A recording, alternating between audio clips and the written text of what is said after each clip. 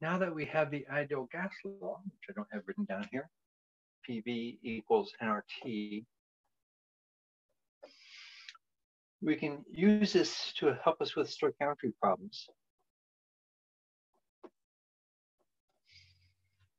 So the stoichiometry problems, are, the heart of it is still going to be the same. So we're going to have moles of a compound. We'll multiply by the ratio of the coefficients to get moles of another compound in a balanced equation. Uh, but now with the ideal gas law, we can use the ideal gas law on either end of the equation. If we're starting off with it, then we're going to be solving for moles. If we're finishing up with it, we'll be solving for something else, pressure or volume. So let's do uh, two of these problems here. So we have carbon monoxide reacting with oxygen from carbon dioxide. Uh, we start off with 7.57 grams of carbon monoxide. The carbon dioxide is being collected at 0.97 atmospheres at 50 degrees Celsius. What is the volume that it will occupy?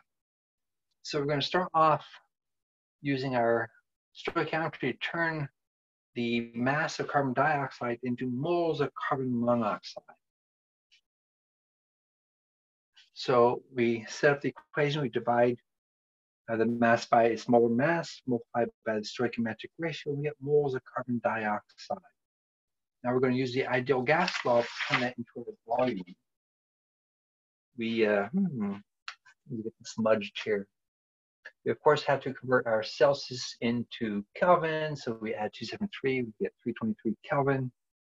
Solve the equation for the volume, but in our moles, the gas constant and the temperature divided by the pressure in atmospheres.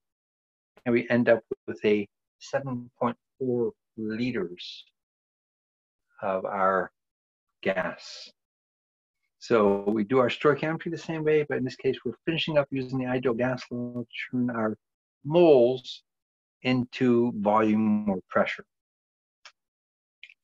We can start off with the gas law also. So this is the reaction that is used for airbags in our cars. Sodium azide decomposes very fast to form our sodium metal and nitrogen gas, which fills up our airbag. So if we want to fill up air, a 70 liter airbag at 298 Kelvin, that's 25 Celsius, at 0.983 atmospheres, what mass of sodium azide do we need to charge that with? So in this case, we have all the information for our uh, nitrogen gas, but we have three of the properties. We're going to solve that one for moles, and then after the ideal gas law, we will do our stoichiometric calculations. So we solve our ideal gas law for moles, put in our pressure in atmospheres, volume in liters, uh, temperature in Kelvin, and we end up with 3.135 moles of nitrogen.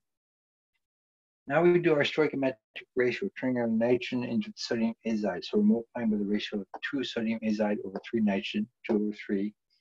And we need 2.09 moles of sodium azide. We multiply that by the molar mass of sodium azide, and we see that we need 136 grams of sodium azide.